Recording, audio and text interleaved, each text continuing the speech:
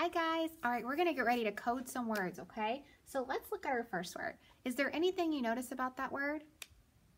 That's right, it's got that ED ending. Remember, we always check the ending to see if we have the end of a word, if we have an ending or if we have like a final syllable. So I'm gonna go ahead and box off that ED because remember, it's a different part. Okay, then what do you notice here? I see CH digraph, so I'm going to go ahead and underline that because I know those two letters come together to make one sound. They say ch. Very good. Then what else do we have?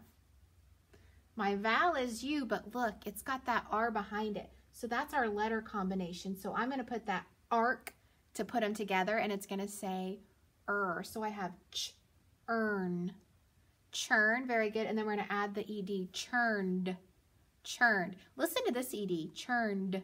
It just makes the d sound. So churned, you guys know this word.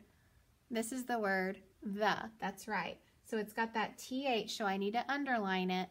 And then that e is kind of different. Listen to how I say it, the, uh, uh. This e makes a funny sound. We're actually gonna put an upside down e on top of it. And we're gonna be talking about that more next week because that sound is a special sound. Sometimes we see things like banana, uh, uh, it's an A, but it makes the uh sound. It's one of the most common sounds that we have is that uh sound, and sometimes it just doesn't follow rules. So churned, the, and then what about our next word? Well, where are my vowels? I've got more than one vowels. I've got a U and I've got an E, and so I've got that double consonant in the middle.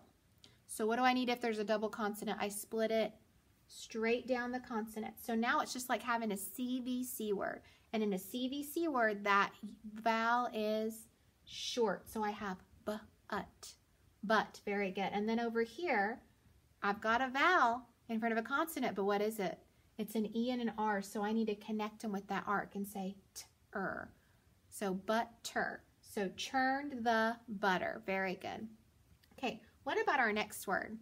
Well, this is a really long word and it's actually a compound word. So I need to break it up first in the middle of the word.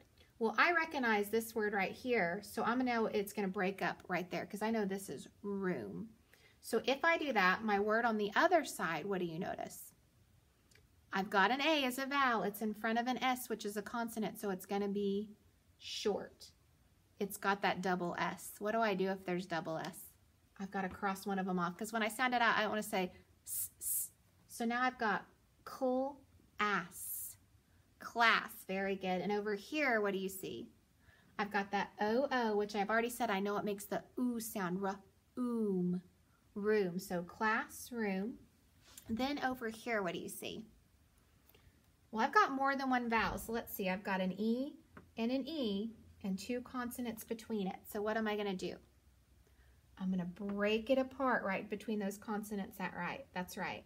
Now I've got an E in front of an N, so this is going to be short.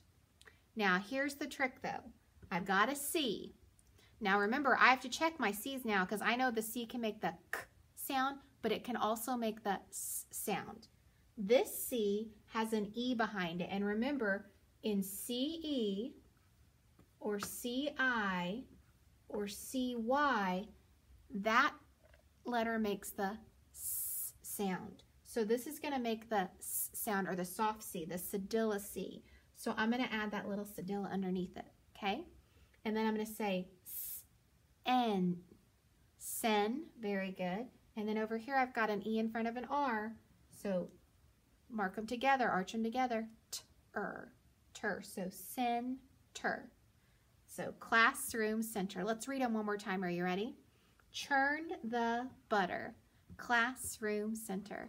All right, you guys did an amazing job. Thank you.